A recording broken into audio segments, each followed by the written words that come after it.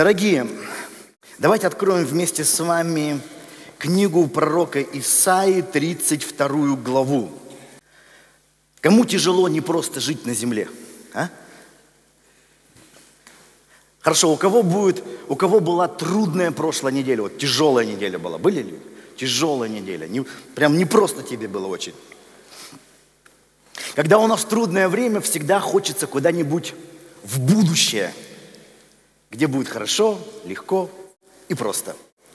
И вот смотрите, в 32 главе пророк Исаия рассказывает о грядущем царстве, куда мы устремлены, о чем мы думаем. Так что же это за царство?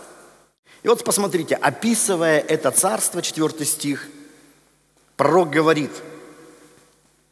«И сердце легкомысленных, здесь есть легкомысленные люди, поднимите, я легкомысленный. Ну, есть такие. Вот смотри, каким ты там будешь. Сердце легкомысленных будет уметь рассуждать. Слава Богу, наступит момент, и ты тоже сможешь рассуждать. И косноязычные, здесь есть те, кто вот с трудом формулирует свои мысли. Есть такие? Скажи, вот как-то не дано мне. Вот. Так вот, про тебя написано. И косноязычные будут говорить ясно. То есть наступит момент, и тебя тоже поймут. Невежду. Здесь есть невежды. Вот невежда я такой пастор вообще. Ничего, невежда. Да. С невеждой сложнее. Невежду уже не будут называть почтенным. И о коварном, даже не буду спрашивать, таких у нас нет. И о коварном не скажут, что он честный. Ибо невежда говорит глупое, и сердце его помышляет о беззаконном – чтобы действовать лицемерно и произносить хулу на Господа, душу голодного лишать хлеба и отнимать питье, питье у жаждущего. У коварного и действия гибельные. Он замышляет ковы, чтобы погубить бедного словами лжи, хотя бы бедный был и прав. А честный и мыслит о честном – и твердо стоит во всем, что честно. И вот вы знаете, среди вот этого описания грядущего царства пророк говорит, что грядущее царство – это будет царство честности.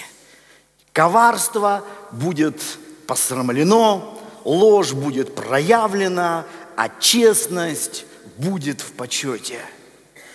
И когда Исаия, вот смотрите, если мы откроем еще одно место, 59 глава, вот он уже описывает не грядущее царство, царство честности, когда честный будет мыслить о честном, твердо стоять во всем, что честно. А когда он рассказывает о том, что происходит сегодня, современное состояние человечества, и хотя Исаия писал давно, но современность мало изменилась. Исайя 59 глава 13 стих. Мы изменили и солгали пред Господом и отступили от Бога нашего. Говорили клевету и измену. Зачинали и рождали из сердца лживые слова – и суд отступил назад, и правда стала вдали, ибо истина приткнулась на площади, и честность не может войти. И не стало истины, и удаляющиеся от зла подвергаются оскорблению. И Господь увидел это, и противно стало очам его, что нет суда. Я когда вчера читал эти места Писания, у меня просто внутри, э, словно Дух Святой говорил, проповедуй завтра о честности, проповедуй завтра о честности. Я думаю, боже, ну честность такая вот вроде тема, вот, ну она вроде очень простая, что тут говорить? Нужно быть честными, не нужно быть нечестными. Нужно говорить правду, не нужно обманывать. Ну кто, кто не знает, ну кто не знает, что такое честность? Но внутри у меня условно было, возьми об этом, говори об этом, говори об этом – ну вот сейчас, когда э, ехали сюда на собрание, мы с дочерью ехали, и мне Кристина говорит, пап, смотри, что там на плакате написано. А на плакате такое было написано, какая-то реклама, и там большими словами, что такое честность. И вопросы. Думаю, ну, слава Богу, значит, кого-то хоть это интересует, что такое честность.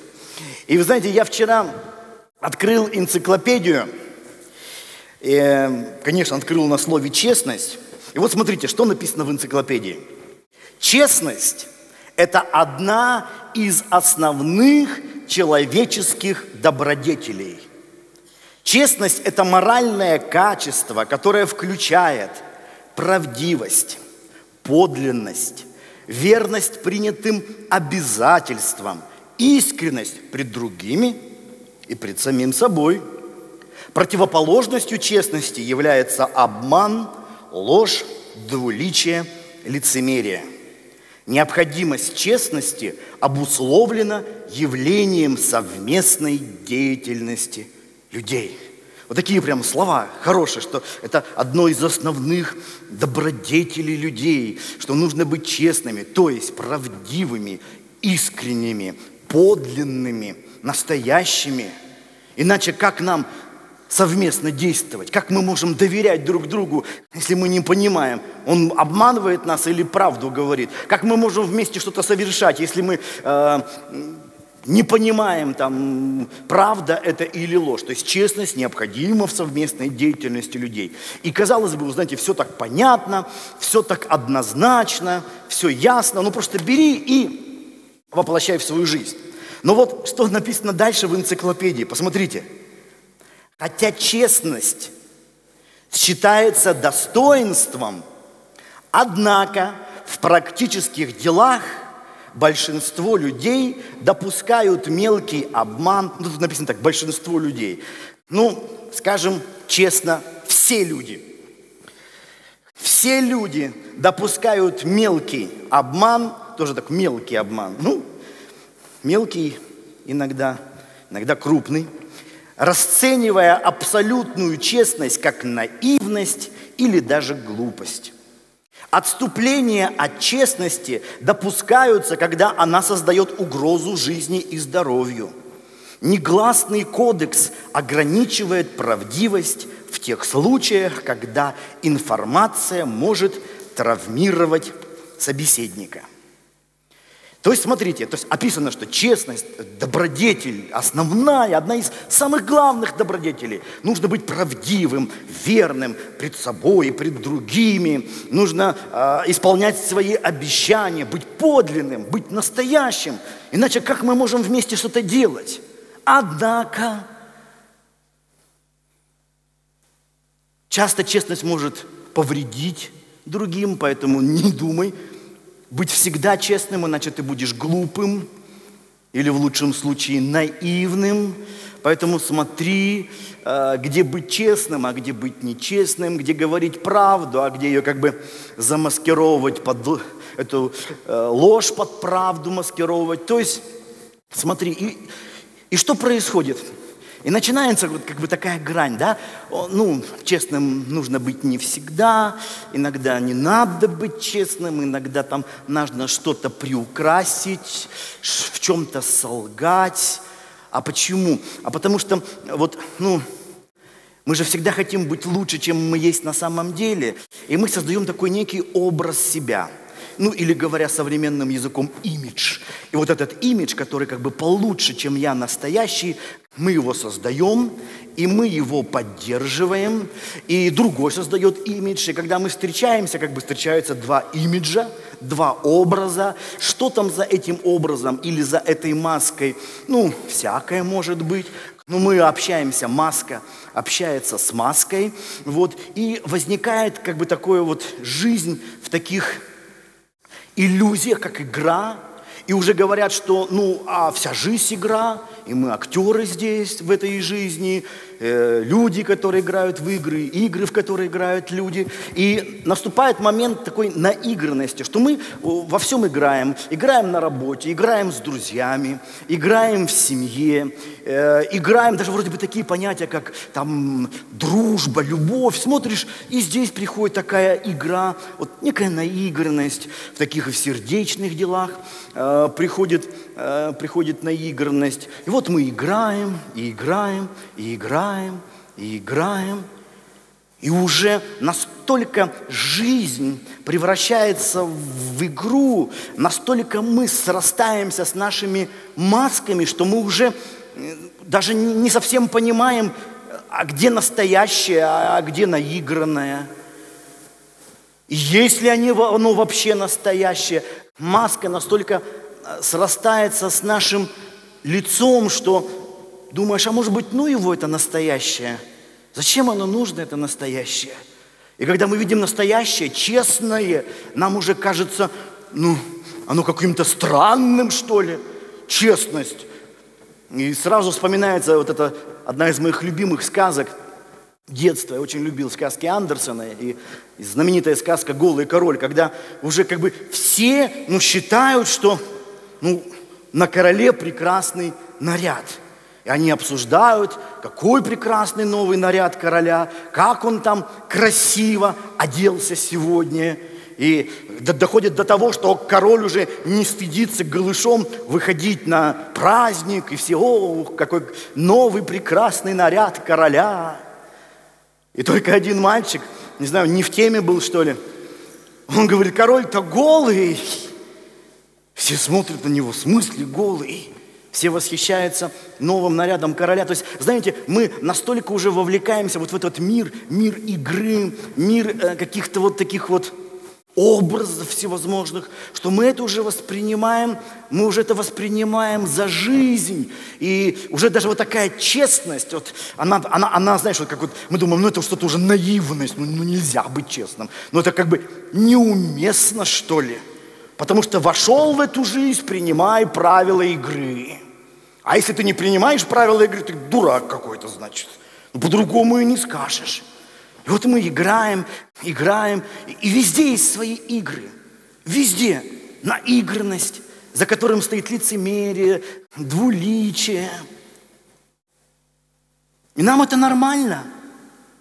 И даже у верующих возникает вопрос, я помню, когда я написал одну из первых своих книг «Маски, крадущие лица», Ко мне подошел один пастор и говорит, ну, Виктор, вот, конечно, вот то, что ты пишешь о масках, которые крадут настоящее лицо, это вроде бы правильно. Но он вот такую фразу сказал, я запомнил. Но лучше и лучше наигранная дружелюбность, чем искренняя злость.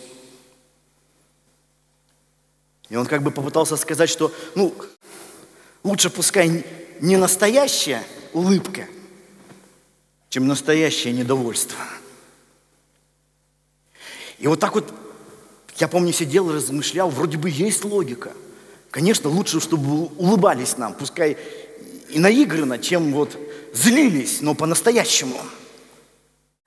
Но тут, вы знаете, происходит вроде такая тонкая грань, происходит вещь, что ты уже и не можешь теперь улыбаться по-настоящему. И даже злиться у тебя все, одна получается наигранность. Ты так в это входишь, ты уже боишься себя самого. Почему? А страшно уже. Есть, знаете, доходит до того, страшно быть настоящим. И хотя говорят, будь самим собой, будь, ну, будь самим собой, это тоже очередная игра. Потому что, чтобы быть самим собой, эти лозунги вообще не нужны. Будь самим собой, там, не подстраивайся. Еще одни игры пошли. В искренность называется игры. А почему же так трудно вот так по-настоящему не говорить, быть самим собой, а реально быть честным? Страшно. Почему? Вы знаете, тут ситуация напоминает компьютер. Вы знаете, в компьютере же есть файлы такие, так называемые скрытые файлы, да? их там, они связаны с системой, и потому они, они спрятаны. И когда ты открываешь обычно там папки, то среди твоих папок этих скрытых файлов нет. Потому что если ты ненароком удалишь эти системные файлы, то нарушится работа компьютера. И чтобы обезопасить, чтобы их никто там не удалил, все нужное, чтобы не поудалял, там это все прячется как бы для специалистов. А для обычных людей эти файлы не видны. И вот драгоценные точно так же и мы. Вы знаете, мы э, часто вот себя настоящего мы прячем. Почему? Чтобы никто не повредил нашей системе. Мы прячем эти файлы, чтобы тут никто ничего не поудалял, не посмеялся – над настоящими вещами. Мы это все прячем и как бы показываем только такие папочки. Ну, вот для всех там. То есть, если ты там что-то и, и поудаляешь, ничего страшного. Мне ты не повредишь, потому что меня настоящего ты не видишь. Я настоящий спрятан от тебя. Но сколько бы мы вот такие игры с вами не вели, а все равно вот где-то внутри есть внутренняя глубинная тоска по-настоящему. Тоска по настоящей честности. Вот она где-то есть внутри, где вот ты как тот мальчик, вот ребенок, король-то голый, то есть честный. Не случайно Иисус говорил, не будете как дети, не войдете в Царство Небесное. Дети пока еще не такие профессионалы в игре. Они честные. Вот эта вот искренность, честность, как у нашего поэта Андрея Вознесенского знаменитые строки. Я не знаю, как остальные, но я чувствую жесточайшую, не по прошлому ностальгию, ностальгию по-настоящему. Как послушник хочет Господу, ну а доступ лишь к настоятелю – так и я умоляю доступа без посредников к настоящему. Нас с тобой никто не расколет, но когда я тебя обнимаю, обнимаю с такой тоской, будто кто-то тебя отнимает. Вот это все нечестное, словно отнимает нас друг друга – когда вижу тирады подлинненькие отступившегося товарища, я ищу неподобие подлинника, по нему грущу настоящему. Это, знаете, мы грустим по-настоящему, настоящим отношениям, настоящей честности, настоящей открытости, настоящей дружбе – конечно, самое главное, мы порой прячем себя от себя же самих. И вот эта вот ностальгия по настоящему, по настоящему я. Вот почему, когда, я помню, сделал цикл проповедей, как найти себя настоящего, кто такой настоящий я. Я помню, был в одном городе, и у нас было общение с пасторами. Они там ну, приехали на собрание, которое я проводил из разных городов. И мы вот сидели, общались. Один спросил, говорит, пастор, как тебе такая в голову мысль пришла, такую тему преподавать? Кто такой настоящий я? А мне другое непонятно, почему нам такая тема не приходит – кто же такое настоящий я? Ведь рано или поздно мы сталкиваемся с тем, что мы хотим знать нас, кто же я такой. Вот я, я настоящий, вот я без своих этих масок, которые меня защищают. Где же вот эти мои скрытые -то настоящие файлы, файлы, связанные с системой. Не то, что пришло и ушло, и можно спокойно удалить, и ничего страшного, а вот то, что касается самой-то вот сути. Я Настоящий кто? И именно поэтому часто мы и приходим в церковь и ищем Господа. Когда мы ищем Господа, мы хотим найти настоящее, вот что-то настоящее, реальное. Устав от игры, устав вот от этих всех масок, мы приходим, нас тянет настоящее, ну хотим познать суть, ну в чем же настоящее, в чем же суть? Наша суть, суть нашей жизни. Зачем мы здесь? Для чего мы здесь? Ну просто вот так вот вертеться правдами, неправдами, как-то в этой жизни э, состояться. А ведь мы отлично понимаем, что часто правда и честность мешают достичь успеха. Как в одном древнем трактате сказано, говорит, там несколько чудес, которых я редко встречаю в жизни. Там одно из чудес – богатый, разбогатевший честно. Мы же понимаем, что часто честность мешает быть успешным, мешает состояться. Честность вредит порой карьере, там, где нужно вовремя улыбнуться, вовремя подакнуть. Как ты будешь вести себя честно? Вот мы пробуем состояться, достичь успеха, кем-то стать, и уже оправдываем себя. Ну как вот, если ты живешь все время в таком двуличном состоянии, надо же как-то себя оправдать, и ты говоришь, ну лучше наигранная улыбка, чем искренняя злость. Как бы подразумеваю, что все, что у тебя есть настоящего, это сплошная злость. И вот мы приходим в церковь, и вы знаете, какое-то проходит время, когда постепенно ты начинаешь замечать, что религия – это тоже своеобразная форма игры. Здесь тоже все так довольно наиграно, какие-то вот эти вещи наигранные. Вот почему легко живая вера вырождается в обряд. То есть сделай какую-то форму. Вот мы будем делать какую-то форму. Можно же из всего сделать форму. Вот у нас сегодня будет причастие. Ну, это плоть и кровь нашего Господа. Мы все такие благочестивые стоим, ждем, когда нам дадут плоть и кровь. Мы все... А ведь очень часто это сплошная игра. Игра. О, сейчас мы должны прославить Господа. Вот.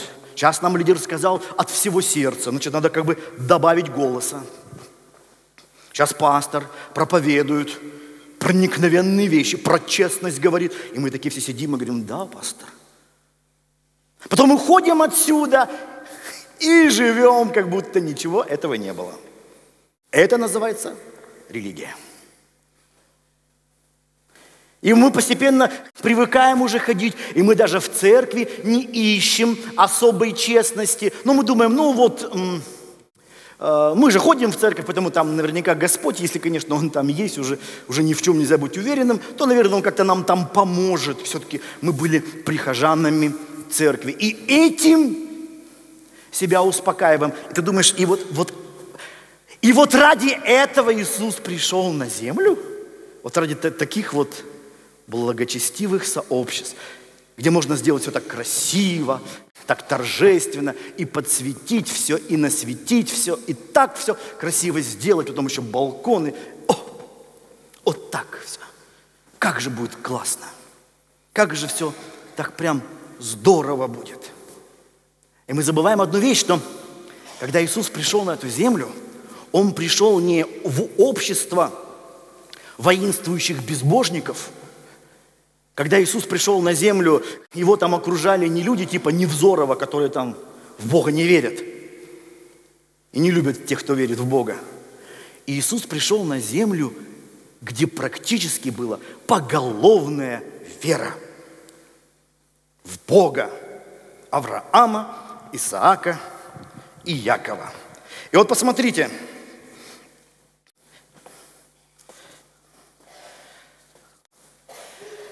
Иоанн, 8 глава, 41 стих.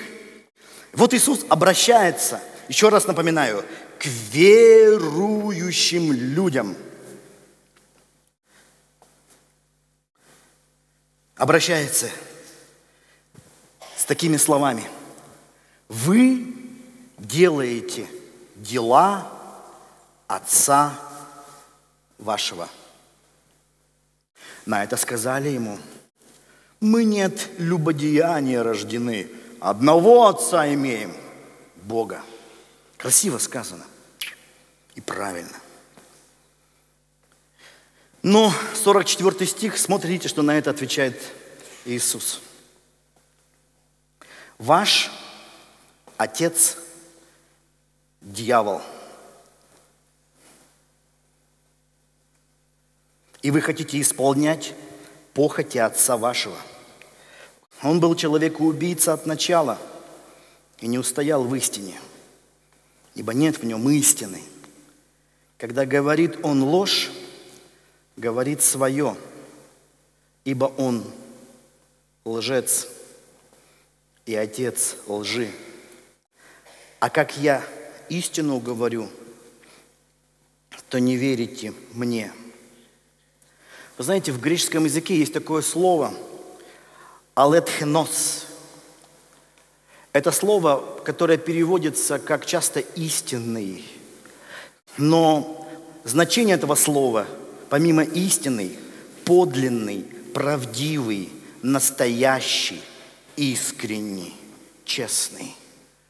То есть слово «честность» нередко в Библии переводится вот «алетхнос» – истинность. Мы часто ищем дьявола где-то всегда вовне – и мы часто так вот напряжены, там где-то вот он дьявол, он прям так готовится нас атаковать, этот дьявол, готовится нас э, напугать, и мы прям так в обороне. А Иисус здесь показывает, хочешь найти дьявола, внутри себя ищи. Скажешь, в смысле, в смысле, в смысле? Дьявол – это лжец и отец лжи. То есть все нечестное, не настоящее, не. Все это порождено им. Видишь ты это внутри себя. И когда мы начинаем смотреть внутрь, о, сколько же наигранного, сколько же нечестного, сколько же ненастоящего – и опять-таки я хочу подчеркнуть, это не просто о ком-то говорится, это говорится о людях, которые были убеждены, они были монотеисты, одного Бога имеем, одного. И тут вдруг такие слова, Иисус не просто говорил, ну, у вас не все правильно там или еще что-то. Он вообще сказал, ваш отец дьявол. Почему дьявол? Бог мой отец. Посмотри, дьявол лжец и отец лжи. Что ты видишь в своей жизни? И ты начинаешь смотреть в свою жизнь. И видишь, как много там внешнего, как много там наносного.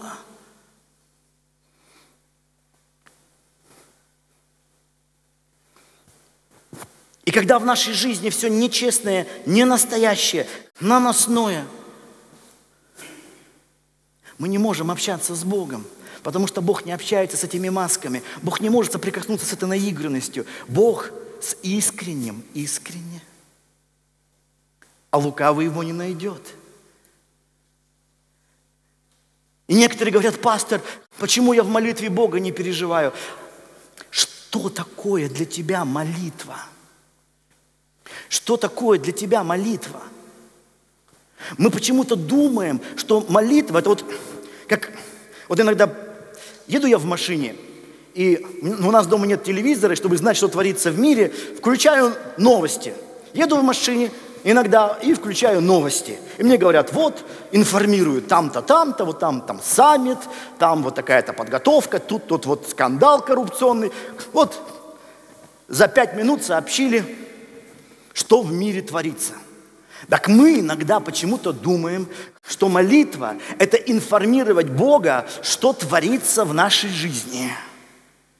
И мы говорим, так, Господь, у меня пять минут, ну, максимум десять есть, я тебе сейчас вкратце расскажу. Так, Плохо, на работе не платят, зарплату задержали мне, жена обижается, в стране кризис там, и, и на домашней группе у нас непонимание происходит. И мы как бы информируем вкратце Господа о том, что происходит.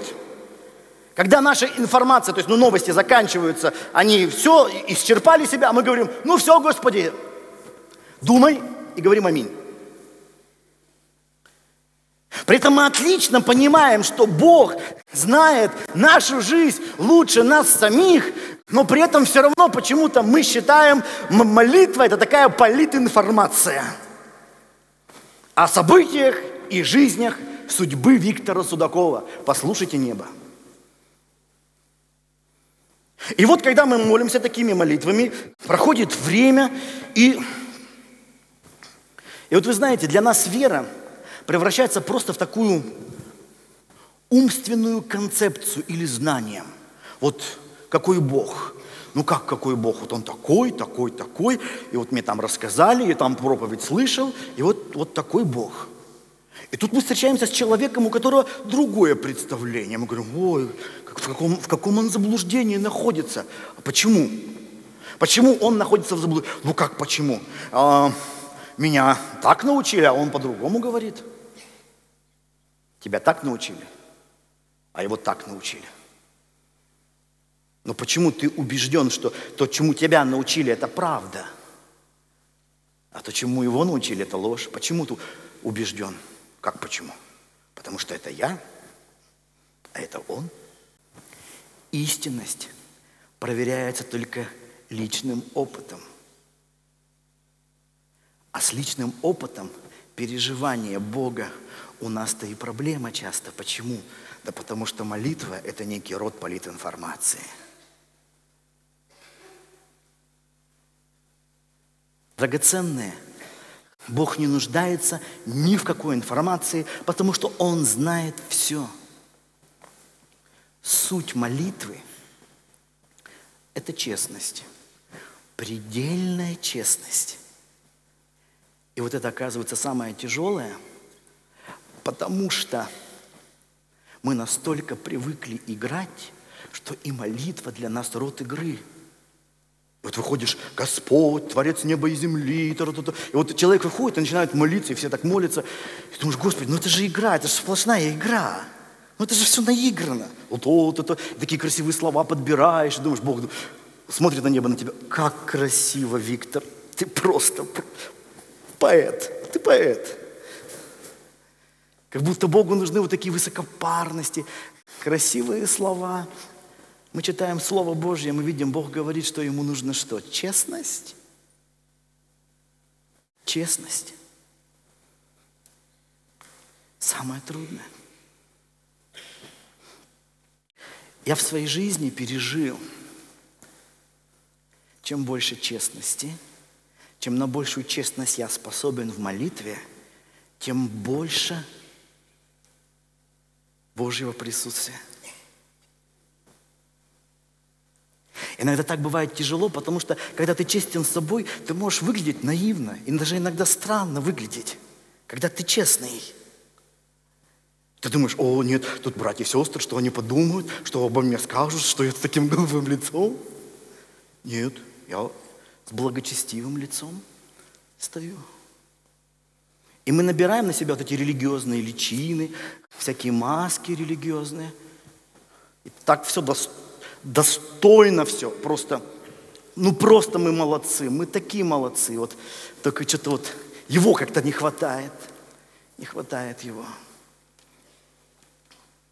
Хочешь его? Будь готов к честности. Будь готов к честности. Вот прийти к ним. Состояние Божьего присутствия – это состояние предельной честности. Вот предельной честности. Когда ты стоишь не как пастор, епископ Уральского региона и прочее, и прочее. Ты стоишь с ним вот открытый. Все твои скрытые файлы открыты. Ты не прячешь это и есть вера, потому что быть полностью открытым можно только доверяя. Мы можем говорить о вере, мы можем проповедовать о вере, но при этом не доверять.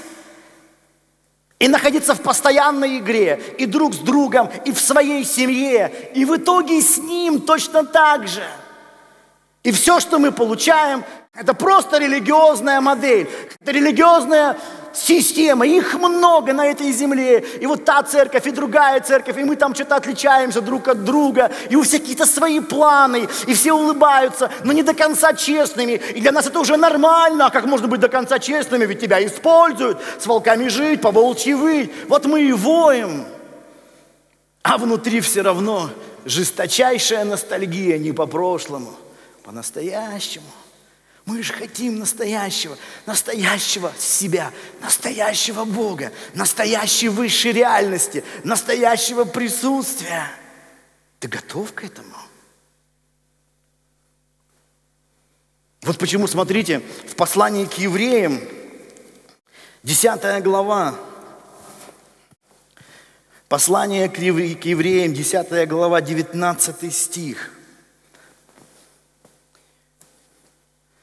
Апостол пишет, «Итак, братья, имея дерзновение входить во святилище посредством крови Иисуса Христа, путем новым и живым, который Он вновь открыл нам через завесу, то есть плоть свою». Здесь говорится о молитве. Как мы можем идти во святилище – не в молитвенный ритуал, не в красивую форму, не в обряд. Как мы можем войти во святилище? И имея великого священника над Домом Божьим, да приступаем, смотрите, с искренним сердцем, вот здесь опять стоит это слово, алетхенос, настоящий, подлинный, правдивый, искренний, истинный. Это самое первое. Это не где-то там... А мы заменяем, вот если я скажу так, во имя Иисуса, то смотрите, мы заменяем общение с Богом формулами. Это по-правильному. Там кто-то говорит, сейчас время Духа Святого, я общаюсь с Духом Святым. Иисус сейчас на небе, мы с Ним не общаемся, общаемся с Духом Святым. А другой говорит, нет, я могу с Иисусом общаться. А третий говорит, нет, не с Духом и не с Иисусом. Мы должны молиться Отцу во имя Иисуса в Духе Святом. Такие, такие знатоки вот. И вот он думает, так, сейчас вот все самое правильное. Отец во имя Иисуса в Духе Святом. И Бог скажет, вот молодец. А те двое вообще неправильно, в заблуждении. И опять придумали такую формулу. И выучили ее всех. И возвысились над всеми другими, кто молится неправильно. А потом наступает момент, когда вот мы там проводили за городом молитву тишины, и люди говорят, о чем вот сидим, а что сидим, а цель какая? А цель одна – достичь состояния честности. Честности. Когда ты вдруг освобождаешься от, от всяких а, ролей своих, вот этих всех вот масок, вот просто остаешься с ним, как есть. Вот просто. И знаете, как без навыка это начинает угнетать. Ну как, в смысле? Ну как вот? Мы привыкли, нам нужна какую-то роль. Роль пастора, роль мужа, роль там водителя, роль бизнесмена. А тут никаких ролей, просто сидим.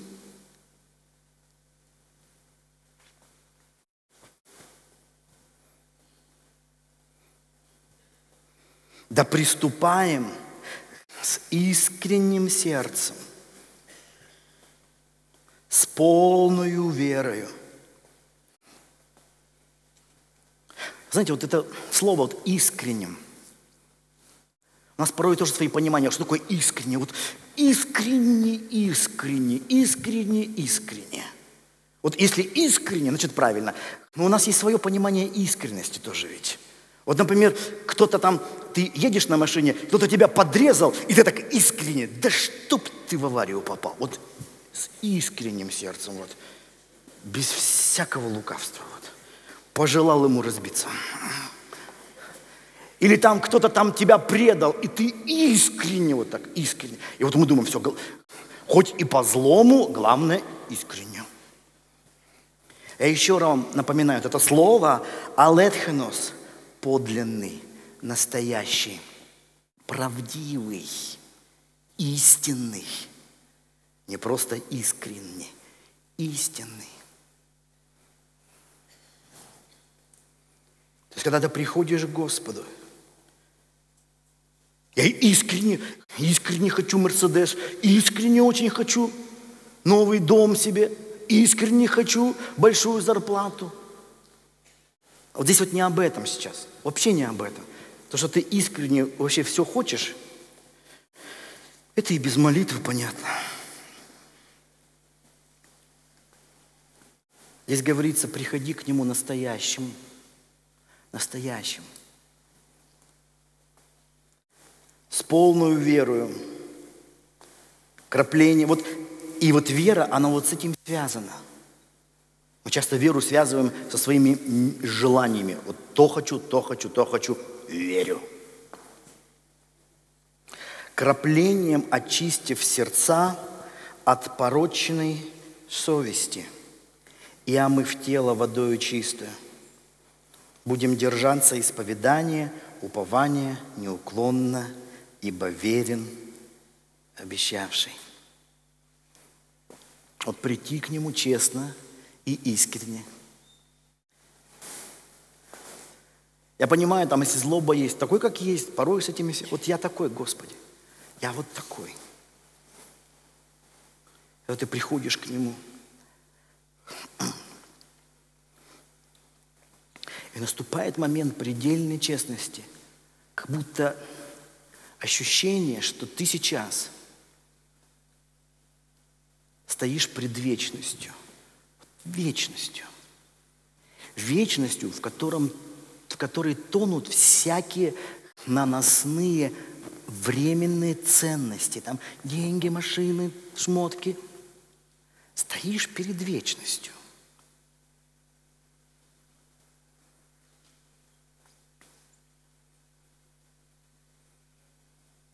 И ты понимаешь, не нужно никуда бежать, не нужно никуда ехать, не нужно ничего там суетиться и торопиться, потому что оно вот, оно вот тут, здесь. Вот здесь оно. И нигде его не может быть больше. Он здесь. И Он всегда был здесь. А то, что ты его не чувствуешь, и то, что ты его не переживаешь, так наигранности много. И чем больше внутри тебя поднимается вот этого настоящесть, честность, тем больше ты вдруг начинаешь ощущать его удивительное присутствие. Он приходит к тебе, потому что ты знаешь, Бог есть свет, написано. То есть ясность, честность. Не случайно, когда Господь пришел к Моисею, и Моисей спросил, как твое имя, что мне сказать народу? Бог сказал, я есть сущий. Скажи, сущий послал. Дословно там написано так. Бог ему сказал свое имя. Я есть тот, кто есть. Бог настоящий, Он есть тот, кто есть. Он не пытается казаться кем-то. Он не то, что вот Бог такой, ну я, конечно, не совсем такой, но, но скажу им, что я есть любовь, пускай верят. И ты так веришь в это, веришь, потом приходишь к Богу, говоришь, Бог, ты не такой хороший. Бог сказал, ну, я там написал, но я хочу, я стремлюсь. Нет. Он есть тот, кто есть. Он не создает себе имиджи в Библии. Я свет, я любовь, я дух. Чтобы представить нам таким вот, вот такой. А на небесах нас ждет такое разочарование. Нет. Он есть тот, кто есть. И ты можешь пережить с ним встречу, если ты будешь тот, кто есть. Ты можешь соприкоснуться с Ним в эти моменты предельной честности перед Ним. Когда приходит эта честность, уходит суета.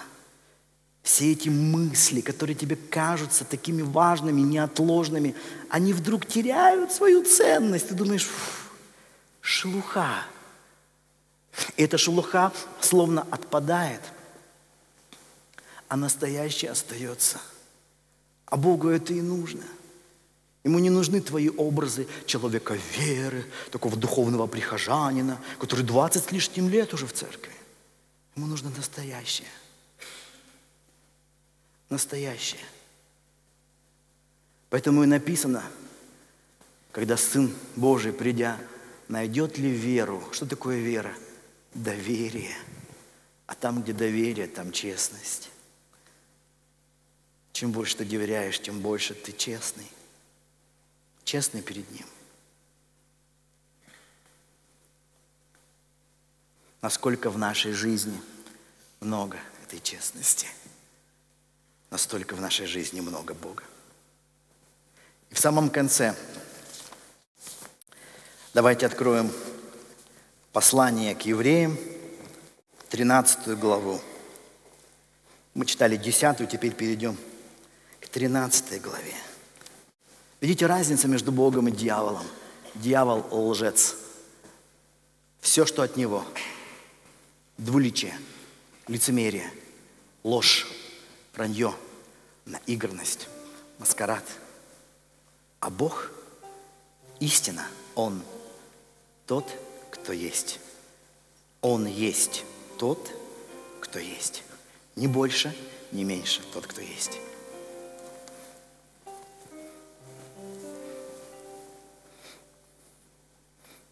И вот смотрите, в 13 главе, 18 стих. «Молитесь о нас, ибо мы уверены, что имеем добрую совесть, потому что во всем желаем вести себя честно». Видите, не только говорить о честности – мы любим часто говорить красиво. Вот в христианстве мы очень научились красиво говорить, проповедовать красиво, ярко, звучно, торжественно. Я вспоминаю у одного писателя есть такие слова. Чем больше он твердил о честности, тем тщательнее мы от него скрывали наши серебряные вилки –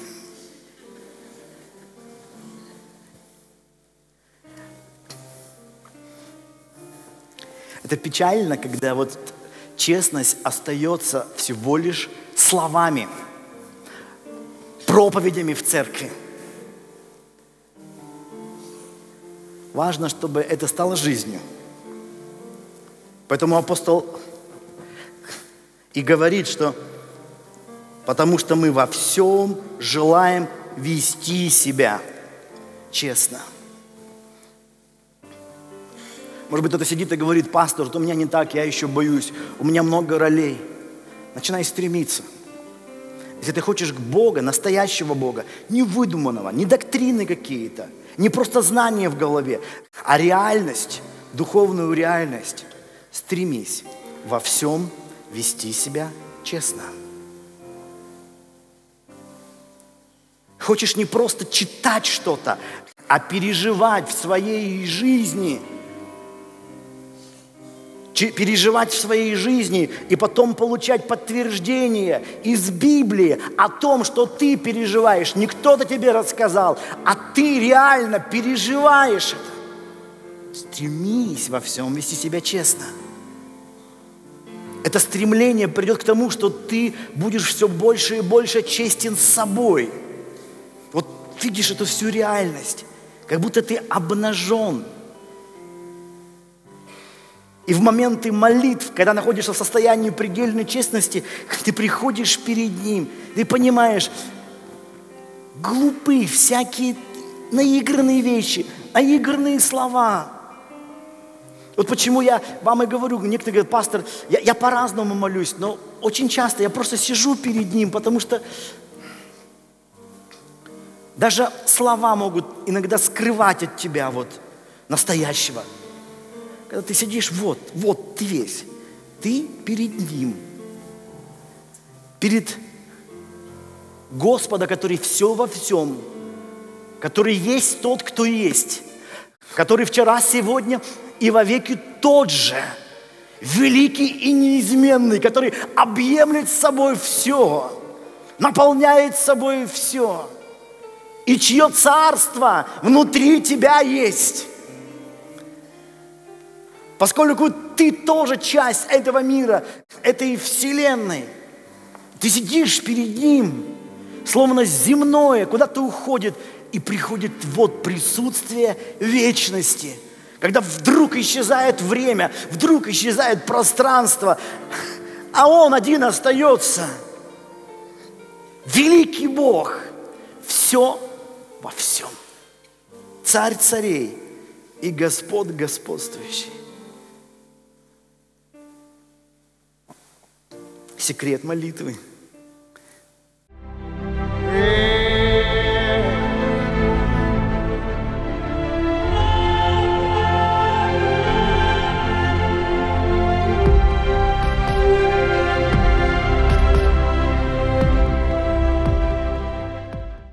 Вы знаете, вот еще в моменты этой вот честности, предельной честности пред Господом, исчезает то, чем ты гордишься. Исчезает то, чем ты возвышаешься над ближними своими. Вот что делает тебя таким великим. Потому что вот в этот момент и честности все внешнее, наносное становится настолько неважным, и ты чувствуешь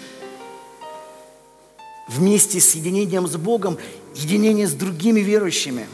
Вот настоящее, настоящее вот это родство, настоящую, настоящую близость. Не случайно апостол говорил, что общение с Богом и с ближним, оно связано. Вот эта честность, она приходит на всех уровнях. И с Ним, и друг с другом. И ты можешь смотреть вот другими глазами на Него, вот без какого-то, может быть, спеси, надменности. А честные глаза – это глаза настоящей любви. Вот любовь тогда приходит. Настоящая любовь приходит. Любовь друг к другу приходит.